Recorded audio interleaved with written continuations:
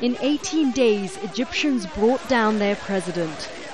Months later, protesters went back, saying one regime had simply been replaced by another. Today, one year after it all started, Tahrir Square has for some become a symbol of people power, to others, a sign of the country's instability and turmoil. For Sheimeh, January the 25th is an opportunity to demonstrate, not a reason to celebrate. All my Egyptian brothers who were killed, justice has not been served for them. Why would I celebrate when the goals of the revolution haven't been realized? We came here a year ago to ask for bread, freedom and social justice. Corruption is still everywhere.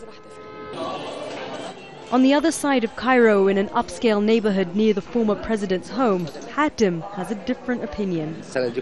This year has been very, very difficult on us.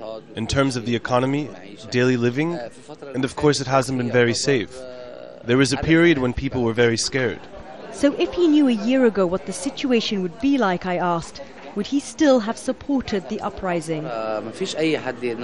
Of course nobody can say they don't support the revolution. This revolution released people from the pressure and depression we were in for 30 years.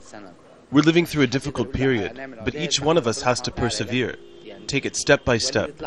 Listen, it's easy to destroy, but to rebuild takes time and patience. But most Egyptians are not in Tahrir Square. Most cannot afford to sit around trendy cafes. Almost half the people in the country live on $2 a day or less in shanty towns like this one south of Cairo. Here, people are not thinking about what the revolution could bring in the future. It's about daily survival. The revolution has done nothing for us. It stopped our work. There is no buying or selling, and everything is more expensive. It would have been better for us if there were no revolution. We were living okay. The elites the revolution brought down. They didn't affect us. This revolution has done nothing for us except stop our work. What did Tahrir and all those young people achieve? I want the country to get back on its feet so we can live.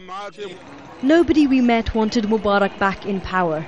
The differences were over what, if anything, the revolution has achieved, and whether the price Egyptians have paid in the last 12 months will prove to be worth it. At heart, the uprising was about restoring a sense of Egyptian pride and dignity but the erosion of rights and freedoms and the deteriorating economy are making that increasingly harder. After one year, there's still as much fear as there is hope for the future of the country. Sherine Tadros, Al Jazeera, Cairo.